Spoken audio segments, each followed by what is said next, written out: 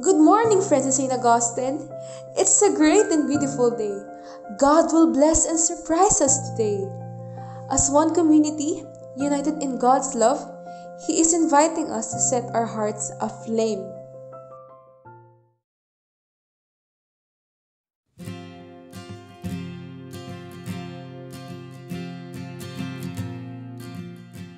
Let us make the sign of our salvation. In the name of the Father, and of the Son, and of the Holy Spirit. Amen. A reading from the Holy Gospel according to Mark.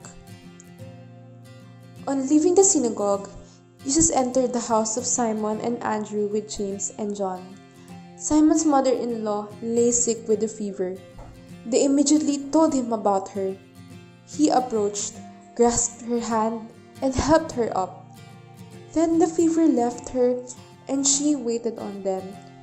When it was evening, after sunset, they brought to him all who were ill or possessed by demons.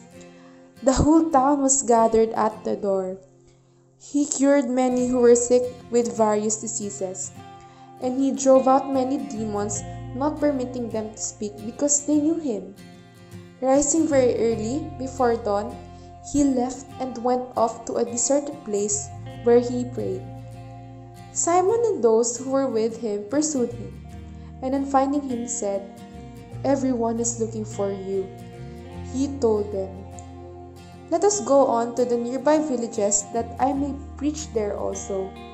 For this purpose have I come. So he went into their synagogues, preaching and driving out demons throughout the whole of Galilee. The Gospel of the Lord.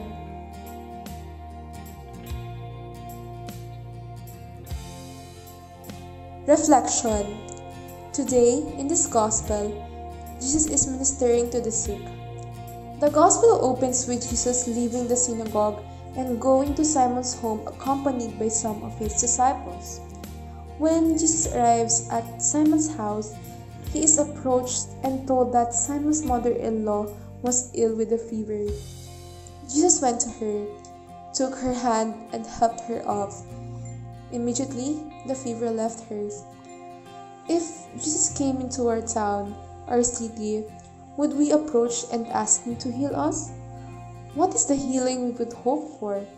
Would it be a physical illness, a spiritual need? Today, I invite you to reflect on the healing that you desire for yourself and our world. God will hear our prayer. We may not get an immediate response, but trust that God is at work. God will respond. How patient will we be?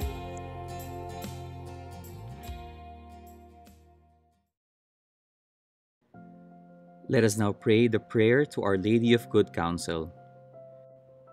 God of heavenly wisdom, you have given us Mary, Mother of Jesus, to be our guide and counselor. Grant that we may always seek her motherly help in this life and so enjoy her blessed presence in the life to come. May the Holy Spirit fill us with reverence for God's creation and compassion for all God's children. May our labors of love on earth enhance the reign of God, and may God's gifts of faith and living hope prepare us for the fullness of the world to come. Amen.